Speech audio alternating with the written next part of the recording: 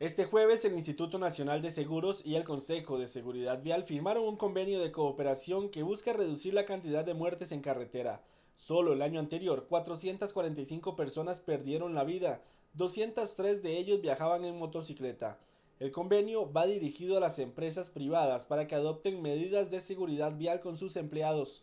Eh, muy buenos días a todos y a todas. Eh, en efecto, eh, este esfuerzo de ambas instituciones busca como objetivo primordial la disminución de la accidentalidad que tenemos en carretera y con, una, con un producto del año pasado de 445 fallecidos en carretera.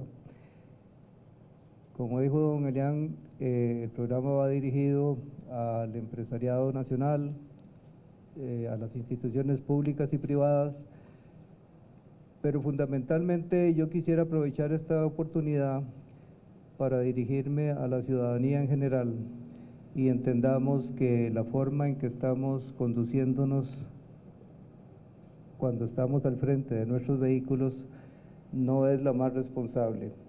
También como parte de ese acuerdo habrá programas teórico-prácticos en las comunidades de los ocho cantones con mayor cantidad de accidentes de tránsito, Hablamos de San José, Alajuela, San Carlos, Pocosí, Nicoya, Punta Arenas, Desamparados y Pérez Celedón. Ya se ha hecho un mapeo de los ocho cantones, ya nos hemos reunido con las municipalidades, ya todas las municipalidades tienen el convenio para firmar y ya empezamos en acciones conjuntas. Es un mapeo no solo de las empresas prioritarias en la zona para abordar y llevar un programa conjunto, COSEBI maneja el programa de empresa segura, y nosotros también manejamos un programa para el tema de la prevención de accidentes de tránsito.